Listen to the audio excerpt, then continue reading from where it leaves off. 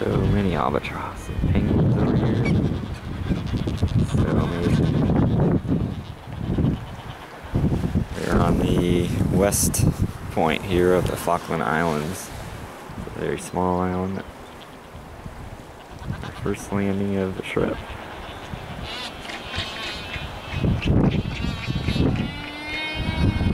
I've seen so many birds in all my life.